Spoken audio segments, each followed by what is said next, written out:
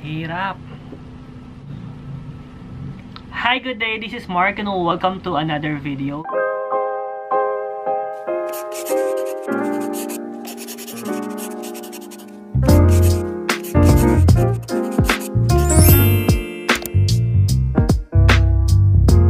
Today's video, itong video na to is short video lang. So, may isi-share lang akong bago achievement sa buhay ko. So, syempre sa mga nanonood sa akin, gusto ko every achievement ko sa buhay, isi-share ko sa inyo. So, nag-start ako ngayon ng clothing line. So, online lang to. So, gumawa ko ng account sa Facebook and Instagram. So, yung product ko, ito yung suot ko ngayon. So, yan siya. Ito yung oversized na t-shirt. So, yan siya. So, yung suot ko ngayon is yung color beige ang size niya is medium. So, meron tayong limang kulay na available. Um, khaki, beige, which is yung suot ko, brown, black, and white. So, nag-focus muna ako sa limang kulay para at least try ko muna kung okay ba itong nasa kong clothing line.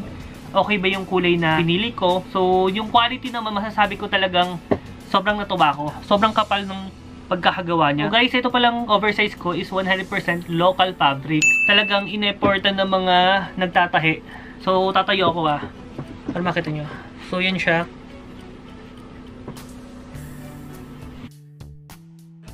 Unahin ko muna kung ano yung packaging niya. So, sa packaging, gusto ko kasi yung medyo kapag dumating yung item sa mga customer or sa mga client, matutuwa na agad pag nakita nila yung packaging. So, nag-isip ako kung ano yung mga packaging na pwedeng ilagay. Kasi may mga nakikita kong packaging na ginagamit, usually adhesive, ordinary plastic. So, which is okay din naman kung ganun. Pero ako kasi gusto ko kapag dumating sa client ko or customer ko yung item niya, sa packaging pa lang, matutuwa na sila. So, nag-isip ako kung ano ba yung pwede kong gamitin pang package. So, ito siya. Nagpagawa pa ako ng sarili kong logo And then, naka, ayan siya, naka-ziplock siya. So, yan yung logo ko, Mark My Shirts. And then, EST 2022. And then, nandito yung, nakikita nyo ba? Nandyan yung Facebook and Instagram account. So, yan siya. So, reusable ziplock. So, kapag nasuot na nila yung t-shirt, ito, pwede nilang paglagay, for example, mag-travel sila, yung mga essentials nila, pwede nila ilagay dito. So, at least, ayun, kasama pa rin nila ako, mark my shirts. And then, sa kasama nito, syempre, may nakalagay dito, ayan, yung size niya, which is small. Ito, order na to ah, naka-reserve lang to. Small, tapos yung sticker. And then, sa loob nito, meron tayong ditong, ayan, acknowledgement receipt. And then, yung card. Lagay dito, hello, thank you for your order and supporting our small business. So, yan siya. Sobrang cute lang. So, ngayon, napakita ko na yung packaging. So, papakita ko naman sa inyo yung anong itsura ba ng oversize. Yun guys, nabanggit ko nga sa inyo yung limang kulay na available pa lang. So, soon, baka dumami. Pero nag-try muna ako ng at least limang kulay. Papakita ko na yung mga kulay. So, yung khaki, ito siya. Ito yung beige. Yung brown. Tapos, syempre yung white. And then yung black. So guys, ang kinaganda dito, so sample tayo. Ito, so ito yung t-shirt ko. So ganyan siya. May kita nyo. Pag suot-suot ko guys, oh, hindi halata yung kung ano yung nasa loob ko. Yung chan ko hindi halata.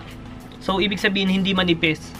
So, unahin natin dito. Kung makikita nyo dito yung logo ko, yung Mark My Shirts. And then, sa ilalim yan, nandun yung size. So, ang size na ito is medium. So, yung neckline naman niya, makikita nyo, ayan o.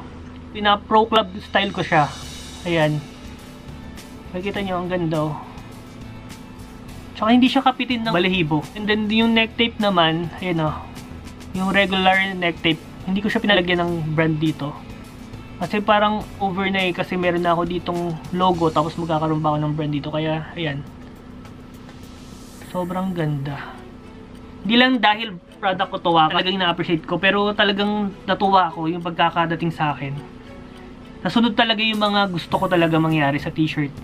Kasi para sa akin pa lang, parang hindi ko na kayang matake to. Kung ako'y makaka-receive ng item, kung pangit man yung tela, kung hindi maganda pagkakatahi. Kasi sa akin pa lang, parang ilalagay ko na yung sarili ko sa mga bibili na kapag ito natanggap ko, yung price ba is tama ba sa item na to na matatanggap nila. So, yun parang iniisip ko. So, sa sleeves naman niya, meron siya dito, sleeve label. So, yun din, yung logo ko. Ayan. Nakalagay Mark My Shirt. Ang sizes niya available, small, medium, large.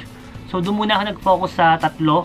Oversize naman siya. So, alam kong itong video to ko, pag in-upload ko is nakapag-upload na ako ng mga pictures. Kasi ngayon, sabihin ko sa inyo na may mga friends na ako talagang sumuporta sa akin. Family ko, uh, naka-order na din sila sa akin para paramdam yung suporta nila sa akin. Actually, pwede kayo mag-comment dito sa video na to kung nakabili na kayo ng uh, oversize, kung ano yung mga suggestion nyo, ano yung mga kulay na gusto nyo. Free na free kayo mag-comment dito sa may video na to. Uh, hopefully, nabigyan ko kayo ng idea sa mga gustong mag business. So, try nyo lang. Actually, iniisip ko ito kung paano mag-business. Pero, nanonood lang ako ng mga videos.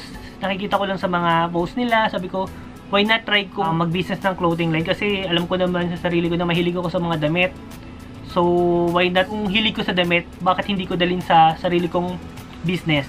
Sa mga gustong umorder, alam niyo na gagawin. Yung link nasa description box. So, pwede na kayo umorder. Sa mga naka-order na pala, please, pwede nyo itag yung account ko, uh, mark my shirt. So, tag nyo lang ako para at least makita ko kayo na, di ba, nakakatuwa yung kasi pag yung pinaghirapan ko talaga yung shirt na to, yung idea ko talaga, may kita kong suot na ng isang tao. Um, parang sa akin ha, yung palang sobrang natutuwa na ako. So, mga nagtatanong pala, hindi ko nasabi yung price. So, yung price niya is 599 pesos only. So, yun lang guys. Thank you for watching.